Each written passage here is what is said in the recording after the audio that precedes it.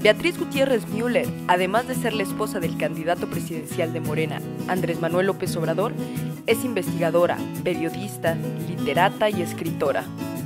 A lo largo de su carrera ha escrito al menos tres libros, Larga vida al sol, Viejo siglo nuevo y dos revolucionarios a la sombra de Madero, en los cuales se ha distinguido como una figura interactiva con lo que sucede en nuestro país. Beatriz Gutiérrez es licenciada en Comunicación por la Universidad Iberoamericana en Puebla, donde también obtuvo una maestría en Letras Iberoamericanas. Años más tarde, recibió su doctorado en Teoría Literaria.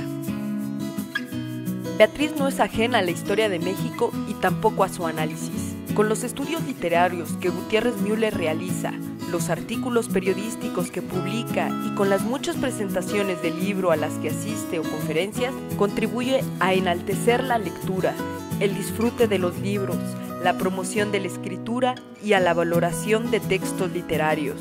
Además, trabaja en un proyecto sobre la historia de los intelectuales olvidados por la historia. Le apasiona la vida de Francisco y Madero al igual que el tabasqueño. No futurea sobre la posibilidad de ser primera dama si López Obrador gana en los próximos comicios, por primera vez en la historia de México, habría una primera dama con doctorado y experiencia en estudios sociales y letras.